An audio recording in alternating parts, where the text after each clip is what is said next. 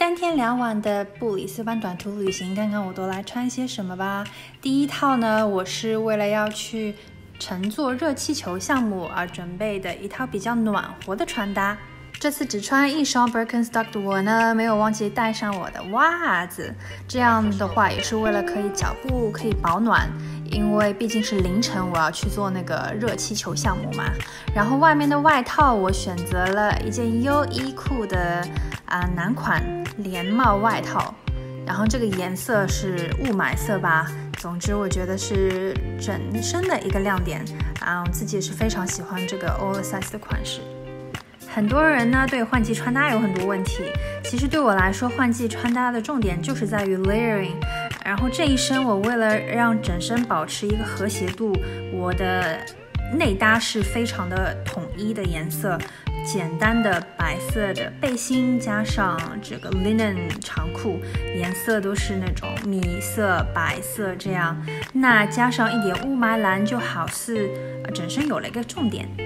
啊，接下去呢，我又配了一个啊，类似于米白色的这样一个小包包啊，啊，第一上那个 air balloon 的时候会比较的轻便，照相机也可以放得下，然后这个颜色也是跟全身的颜色形成一个和谐的统一色，不要忘记涂上一点亮晶晶的唇蜜，那么整身就完成啦，我很喜欢这一套。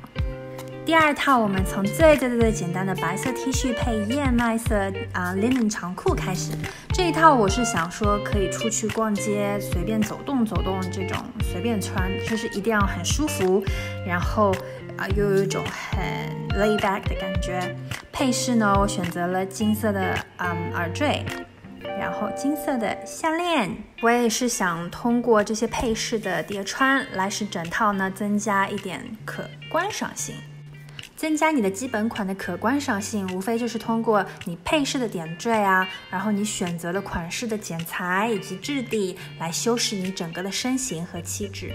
除了一些基本款呢，我还额外的带上了一条长裙，这条长裙来自 Tree of Life，但是考虑到我们要出去吃一些晚晚饭什么的，那比较嗯需要打扮一下的场合可以穿。我特别喜欢这条裙子的花纹。